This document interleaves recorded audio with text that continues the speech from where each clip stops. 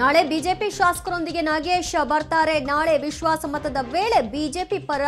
ಶಾಸಕ ನಾಗೇಶ್ ಮತವನ್ನ ಹಾಕಲಿದ್ದಾರೆ ನಾಳೆ ಬಿಜೆಪಿ ಶಾಸಕರೊಂದಿಗೆ ಸದನಕ್ಕೆ ನಾಗೇಶ್ ಬರಲಿದ್ದು ನಾಳಿನ ವಿಶ್ವಾಸ ಮತದ ವೇಳೆ ಅವರು ಬಿಜೆಪಿಗೆ ಮತವನ್ನ ಹಾಕ್ತಾರೆ ಹೀಗಾಗಿ ನಾಳೆ ಬಿಜೆಪಿ ಶಾಸಕರೊಟ್ಟಿಗೆ ಬರ್ತಾರೆ ಮುಂಬೈನಲ್ಲಿ ಅಶೋಕ್ ಅವರು ಅವ್ರನ್ನ ಭೇಟಿ ಮಾಡಿದ್ರು ಈ ಸಂದರ್ಭದಲ್ಲಿ ನಾಗೇಶ್ ಮತ್ತು ಶಂಕರ್ ಇಬ್ರು ಕೂಡ